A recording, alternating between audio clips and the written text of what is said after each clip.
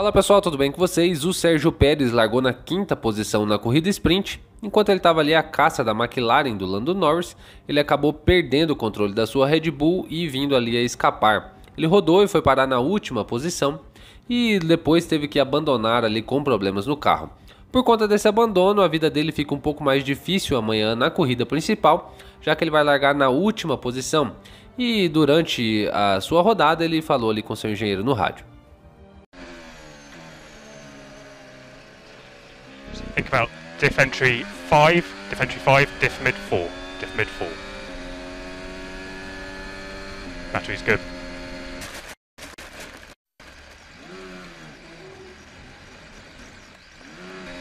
Oh, I lost it.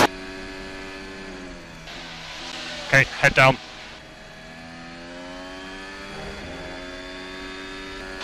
I can check out, there's 12 laps to go. Gonna start picking them off.